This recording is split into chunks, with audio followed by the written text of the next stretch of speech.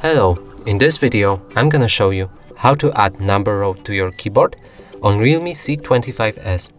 So as you can see if we if I go to any messages uh, application and pop up my keyboard like this I don't have numbers here.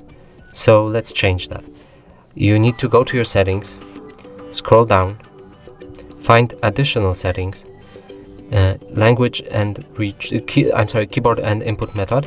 Uh, and from here open your default uh, keyboard. For mine is uh, Gboard.